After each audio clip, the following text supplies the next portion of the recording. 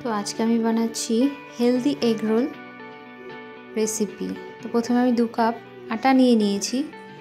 আমি ময়দা ইউজ না করে এখানে আটার ইউজ করেছি। তারপর এখানে আমি অ্যাড করেছি অল্প মানে ওই এক চামচ আন্দাজ সাদা তেল আর একটু লবণ আর একটু চিনি। চিনিটা অপশনাল ব্যাস, তারপর এটাকে ভালো করে ময়াম দিতে হবে।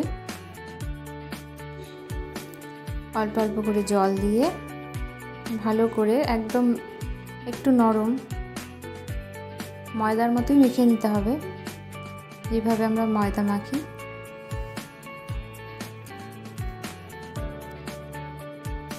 ভালো করে আমরা মেখে নেব। বাড়ির বাচ্চাদের জন্য এটা খুব ভালো।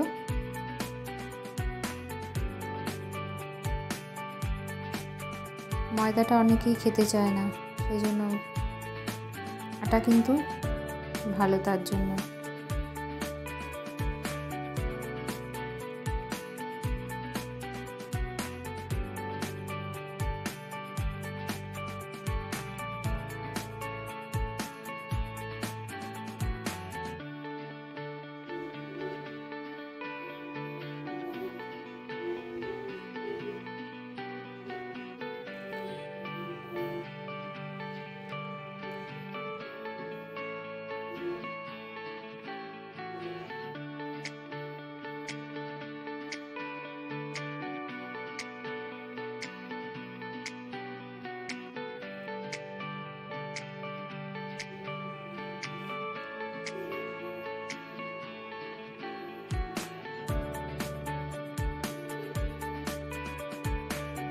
আমি এখানে দু বাটি আটা নিয়েছিলাম। তোমরা দেখতে পাচ্ছ আমার আটা মাখাটা অলমোস্ট হয়ে গেছে। দু বাটিতে আমার চারটে ডো হয়েছে।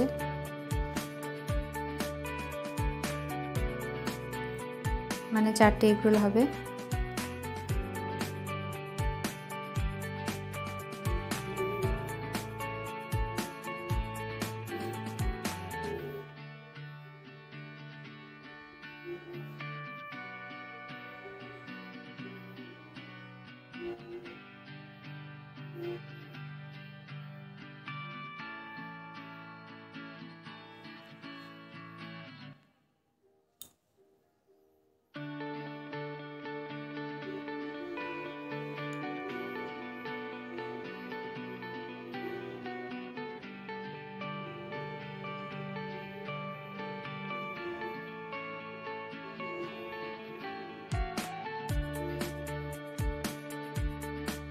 তো আমার ডোটা রেডি আমি আগেই শশা কেটে রেখেছিলাম, স্যালাডটা আর কি। শশা পেঁয়াজ, লঙ্কা কুচি। আমি দুটো শশা ইউজ করেছি, আর একটা বড় সাইজের পেঁয়াজ, আর একটু লেবু। ওই অর্ধেকটা পরিমাণ লেবুর রস, পাতি লেবুর রস, এক চামচ আন্দাজ বিট নুন, আর হাফ চামচেরও কম সাধারণ লবণ দিয়ে এটাকে একটু মেখে রেখে দেব। ততক্ষণে এগ রোলটা বানাতে থাকব, ততক্ষণ এটা মেখে নেব।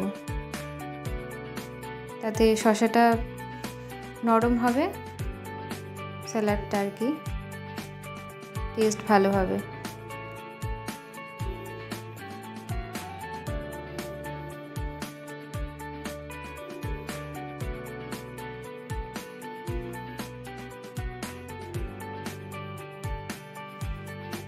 আটা দিয়েই আমি এটা বেলেছি। কোনো রকম ময়দা ইউজ করিনি। তেল যতটা হয় কম দেওয়ার চেষ্টা করেছি।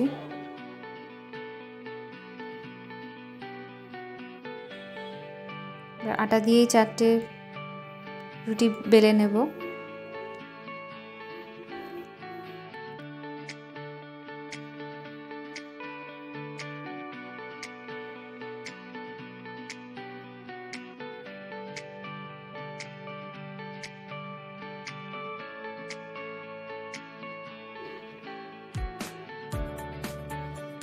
এবার এটাকে ভেজে নেব। রুটির মতো করেই শুধু তাওয়াতেই ভাজবো। তেল ছাড়াই ভাজবো। একটু হালকা লাল হলেই হয়ে যাবে।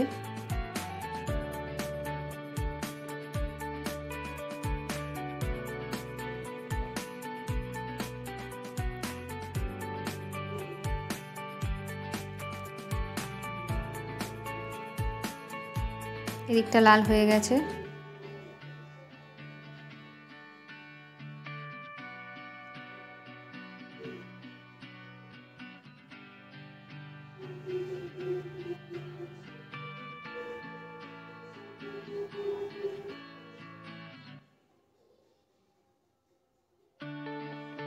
এভাবে চারটেই ভেজে নেব।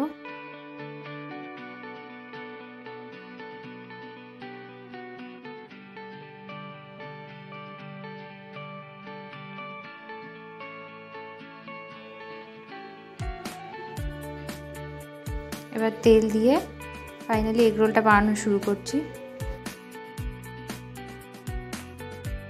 সাদা তেল নিয়েছি দু চামচ, দু চামচের মতো।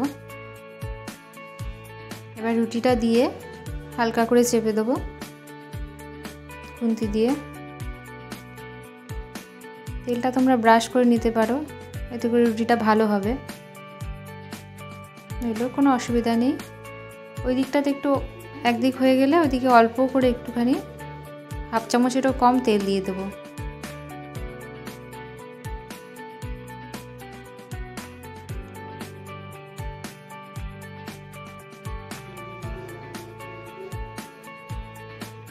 ডিমটা ফেটানোর সময় একটু নুন দিয়ে নিলে টেস্ট কিন্তু ভালো হবে।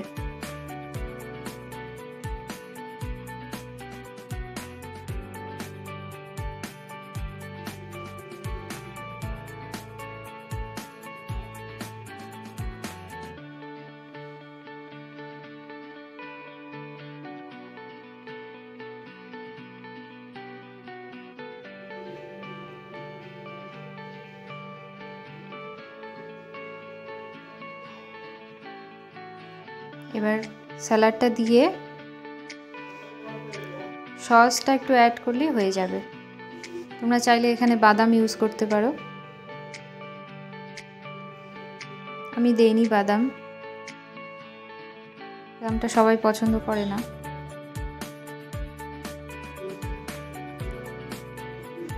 আমাদের এগরোল রেডি সার্ভ করার জন্য। তোমরা চাইলে টিস্যু পেপার দিয়ে মুড়ে দিতে পারো? আমি দেই